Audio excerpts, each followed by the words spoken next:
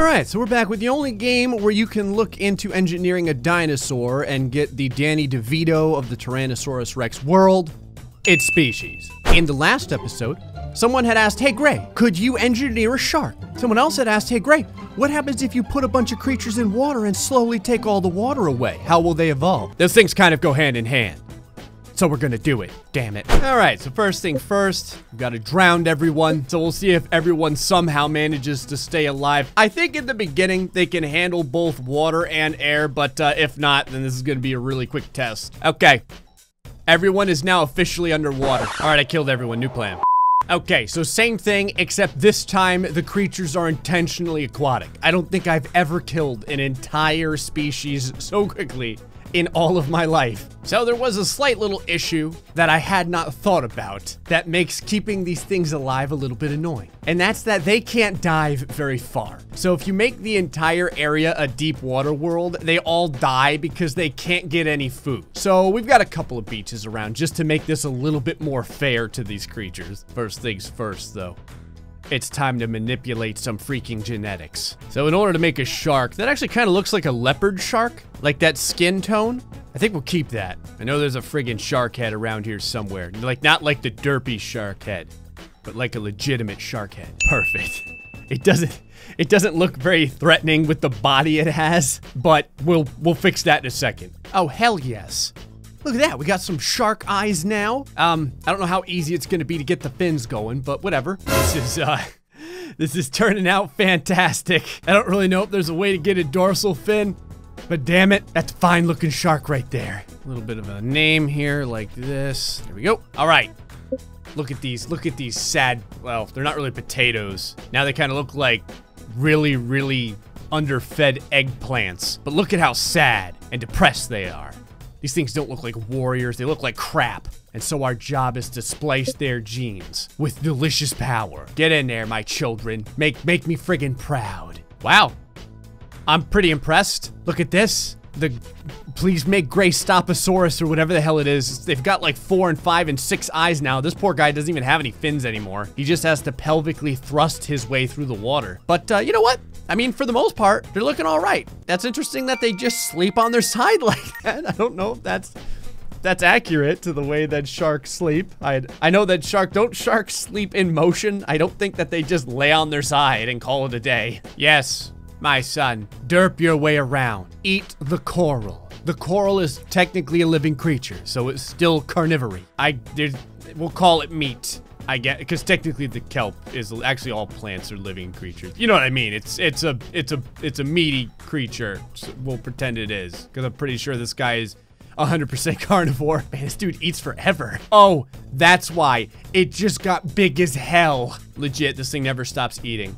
It's like the megalodon of, of the water air. Actually, it's really big. Like, I had no idea it would get this big. It I did increase the size quite a bit, but it just, it look at it. It just never stops eating. It just eats forever. At this point, it's time to uh, take a little look-see at how the potatoes have evolved. This is inter- okay, that's not what I wanted to look at. This is interesting. A few of them have uh, some of the stuff, but a few of them just have like a shock collar around their neck. I'm really not sure what happened here. And then right here is the weird midsection, like right in between shark and pathetic thing. Oh, it just gave birth to another little baby Satosaurus over here. Look at it run. Every, I think it just ate one of its brethren. In fact, I'm pretty, yep. Oh, it is eating everyone. Oh, they're going freaking ballistic over here. We've made some real carnivores this time. They're just eating the hell out of everyone. And man, they are spawning all over the place. This is freaking awesome. I can't wait to slowly torture everyone. Look at this group of creatures over here. Bam! Got wrecked by our shark things. Our horny, horny sharks. They've got horns now on their heads. Look at how, look at how lovely they are as they swim together in harmony, father and son. Both starving, maybe dying a little bit. They probably, I should probably, oh, there goes the son. The son just died. Now the dad's probably pissed. He's gonna take, he's gonna take his anger out on one of the other creatures. Yep. Just took his anguish out on this guy. Got blasted. He's dead. What is, what are you doing? Are you, are they trying to develop lungs? Oh my god, I think they're trying to do it on their own, without my help. They're slowly, look, they're coming off of land. But can they survive? Well, this is something you don't see every day. Uh, it's not having a good day. Definitely not having a good day. Somehow, yeah, it needs oxygen. It came out of the water and it was very stupid to do so, and now it's gonna die. It's suffocating. It tried to survive on land, it didn't work so well. This guy's doing the exact same thing, but he's like partially still in water, so he's all right. Man, everyone wants to come off of the, out of the water. What is going on over here? We guys killed everything and now you want to search for something else? These are actually the most violent creatures we've ever made. Like, they get pissed off at everyone if anything else gets in their way, it's like immediately slain. Like, I don't know how this creature is gonna feel because it's totally possible that it's gonna get blasted by this dude over here. I'm not really sure what happened over here. Oh, they're super hungry and they just blasted each other. Huh.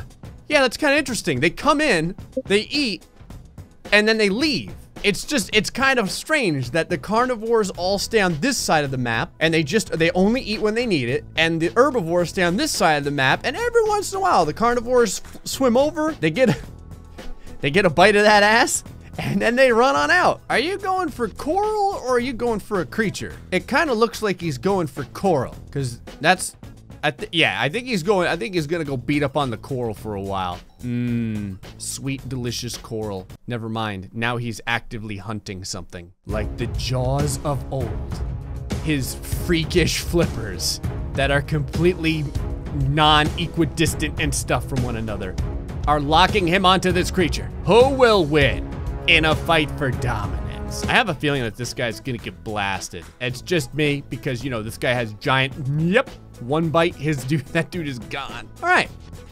So our freakish sharks uh, turned out pretty well. They're doing well over here. The, uh, the little sea cow creatures, little sea potatoes, are doing just fine over here. So now I guess the question is, I'll let them maybe evolve for a couple more generations, and uh, then we're gonna start taking all the water away. I think that everyone is going to basically immediately die, so maybe I'll take the water away a little bit slowly. There's something I wanna do real quick.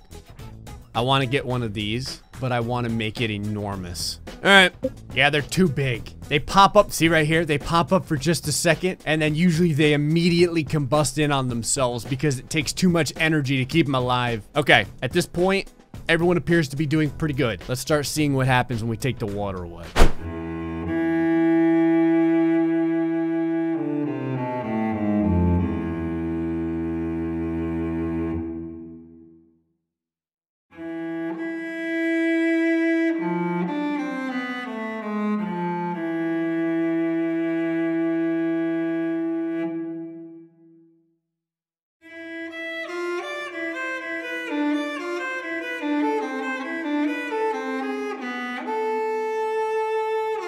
Okay, so I've started to reduce the water fertility and I started to increase the land fertility. There's a bunch of creatures that have like started to grow legs and stuff. Like some of the, some of it just looks like enormous stomachs like they're grossly obese or something. But there is a few of our uh, our little uh, non-carnivorous pickle cows that have developed legs. Here we go. Look at this. He's walking. They're starting to develop legs. A few of the carnivores are still over here, like living with these creatures, just like dining on them when they need it. Man, quite a few of the cows have legs now. Look at them. They're all starting to develop cows. They're coming out on land completely. The sharks are uh, not really developing as quickly. Uh, they don't appear to come on land very much, and when they do, they insta die. So taking a look at what we have so far, this guy doesn't know if he wants his eyes to be on the top or the bottom of his head, but it still looks pretty cool. Oh, ready?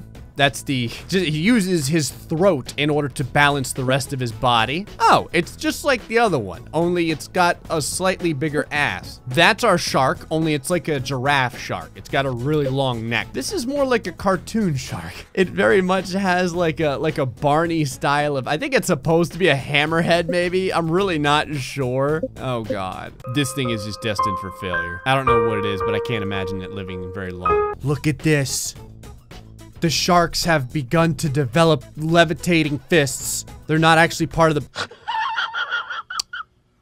Well, every shark has fists now. They don't just like to bite creatures, they like to punch them to death. They're also losing their teeth. Oh my god. All of their teeth have fallen out. They're like the denture-wearing sharks now. Man, you take away a little water, and all the sharks lose their bite. This shark over here has like four fists. He's starting to develop vestigial limbs over here on the backside too. All right. Enough time has gone by. We've allowed them quite some time to continue to evolve. So now it's time to bring the water down even more. Eventually, we're to get rid of all of it.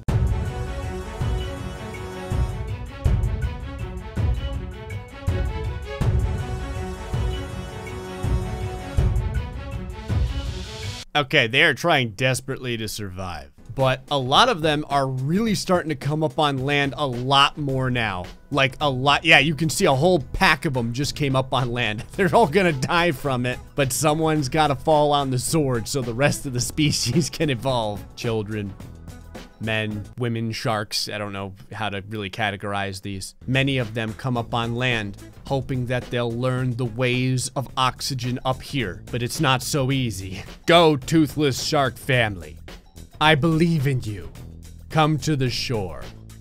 Learn how to evolve. They're coming on the shore. I don't know if they're gonna last too long. Actually, let's take a look real quick at the stats. They've become herbivores but the respiratory system is still totally gilled. So creature-wise, oh, that is kind of Barney-ish. This is where we're at so far. Some of the shark prowess is still there. I don't know why this guy has like double soul patches under his chin. The herbivore cow pickle things have really started to develop some limbs now. Now all the, all the species appear to be uh, prospering. That must mean that life isn't hard enough for everyone. Okay. At this point, there's very little food left in the water. Uh, conversely, though, there is a ton of food on land. And there's not much water left for these creatures to live in. They're still sticking to it as long as they can. But eventually, I'm going to remove all the water completely. Don't worry, little guys. This isn't torture, it's gameplay. Oh man, we had them down to 50, but they're starting to fight back. I think that means that evolution is starting to kick in. They're getting into the 60s and 70s now, and 80s. Oh, you guys just don't want to die, do you? You're so cute. Someone had asked, hey, Gray, why don't you make a creature that's a, a, thing out of nightmares? And someone else had mentioned that I do that at least one per episode. Would you want a plushie of this? Would you want to hug this thing? Wow, they managed to breed their way up to 120 there for a little bit. If they do that again, I I'll clearly know that life isn't hard enough and will continue to bring the water down. I'm waiting for it to get to about 200. Look at these guys having parties, coming up on land, forming little shark herds. Like it ain't no big thing. Ain't no thing, huh? Maybe you need less water then. Man, y'all are just a pain in the ass, aren't you?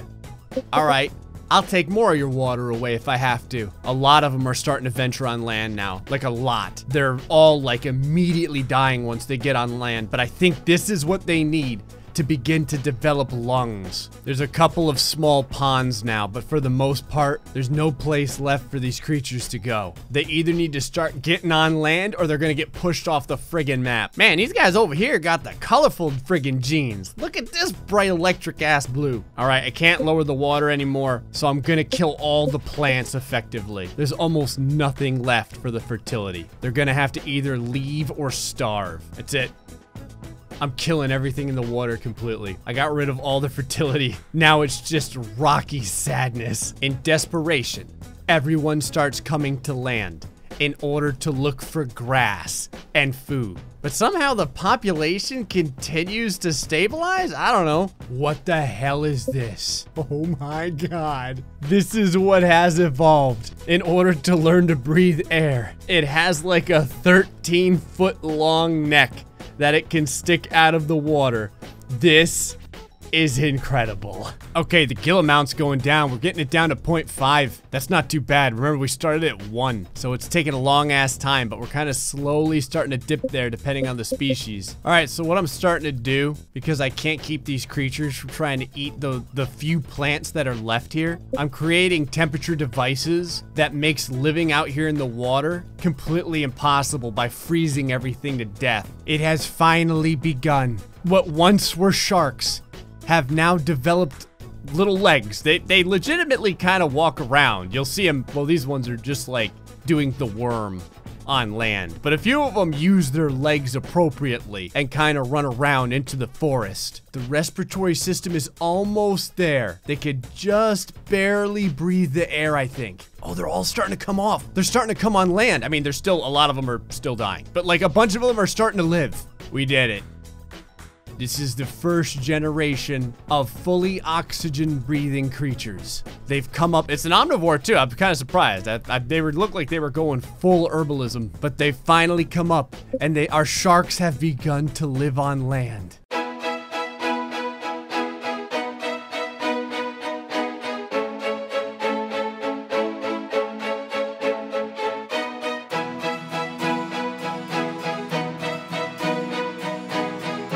So, uh, yeah, I guess this is what it would look like if a bunch of sharks finally evolved to the point where they could walk on land and uh, start derping around. There's still quite a few that decided to live in the water like continue to live in the water. But finally, after I don't even know how many generations, we have our creatures completely living on land, moving in odd schools of shark herds over here. Hey folks, that's gonna be it for this episode of Species. This is actually a really good idea. I'm surprised at how well it went and how odd the final result looks. If you have any other suggestions, let me know in the comment section below. Until the next time, folks, stay foxy and much love.